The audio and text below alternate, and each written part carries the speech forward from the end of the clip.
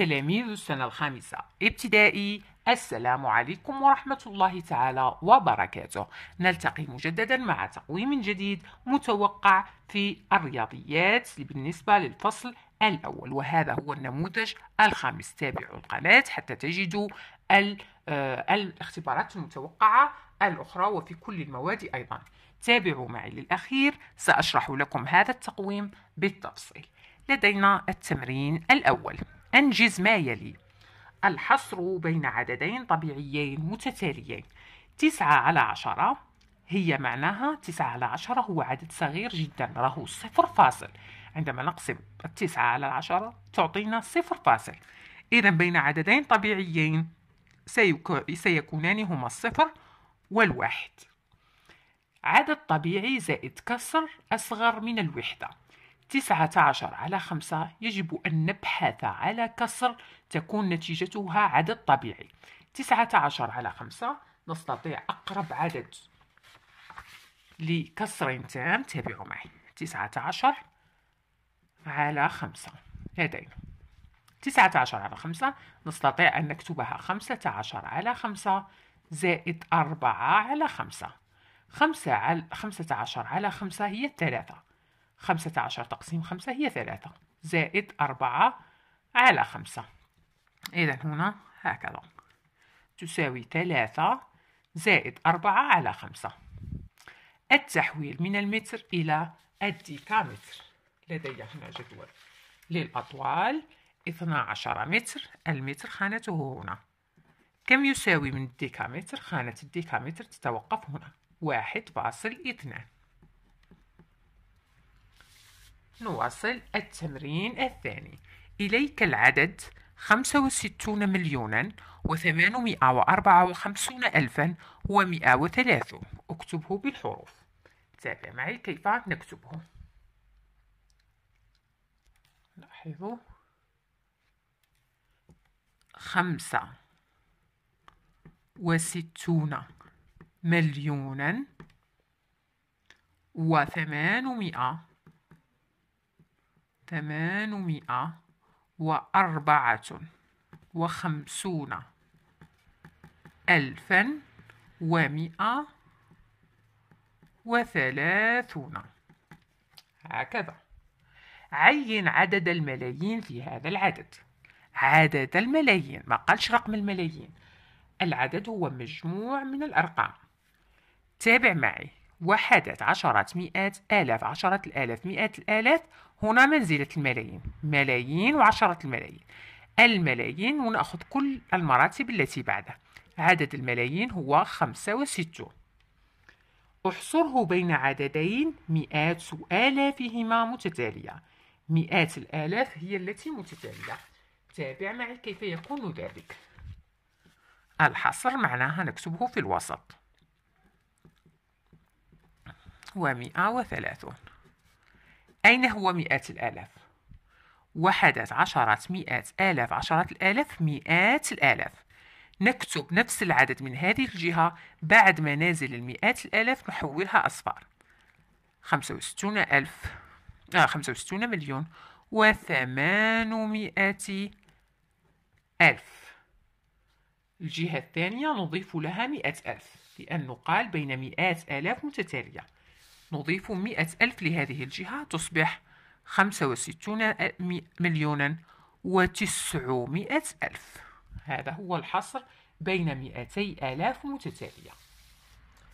التمرين الثالث في مدرسة 240 تلميذ يمثل عدد الإناث ثلاثة أخماس تلاميذ المدرسة.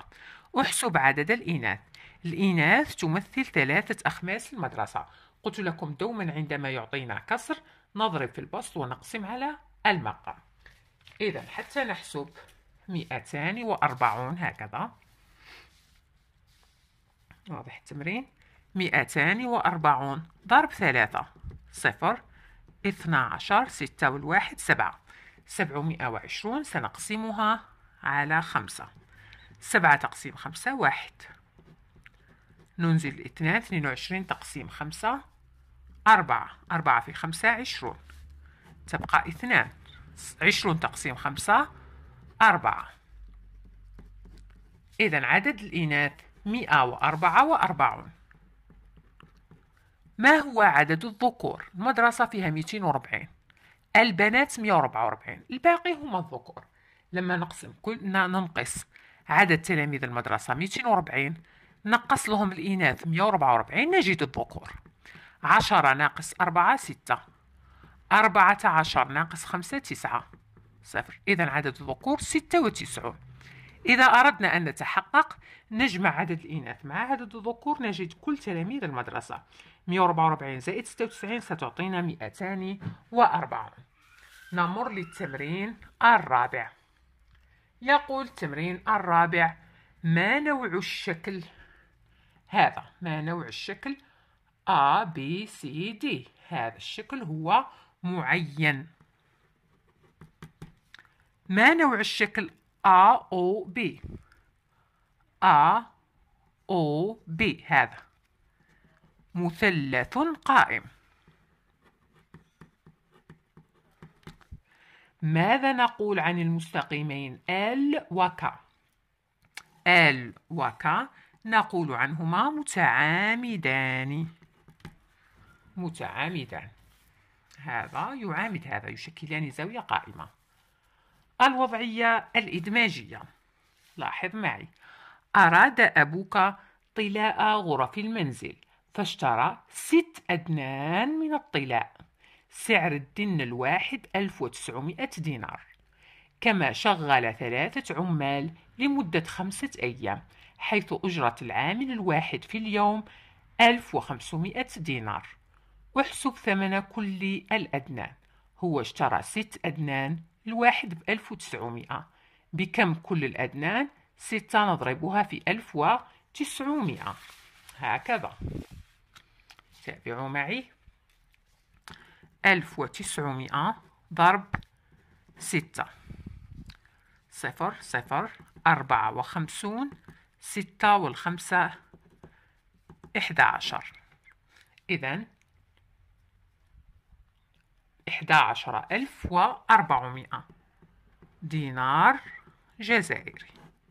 هذا ثمن كل أدنى أجرة كل العمال. هو جاب ثلاث عمال يعملون لمدة خمسة أيام. أجرة العامل الواحد في اليوم الواحد 1500 ثلاثة ضرب خمسة خمسة عشر خمسة عشر نضربها في ألف وخمسمائة. لماذا؟ ثلاث عمال هذو راهم عملوا خمسة أيام.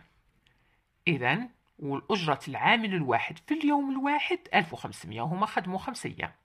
يجب أن نضرب ثلاثة في خمسة في 1500 ثلاثة في خمسة خمسة عشر في ألف وخمسمائة هكذا.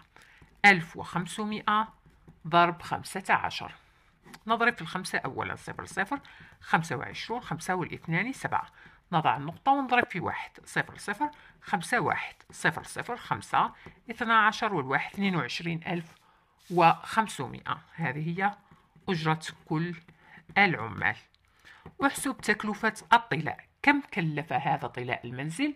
كلفه هذه الأدنان ومصاريف العمال. نجمع 11400 زائد 22500 تسعة ثلاثة ثلاثة. أجرة أو تكلفة الطلاء ثلاثة وثلاثون ألف وتسعمائة دينار. إذا بهذا الشكل السريع والمختصر قد شرحت لكم هذا التقويم. أتمنى أن أكون قد أفدتكم.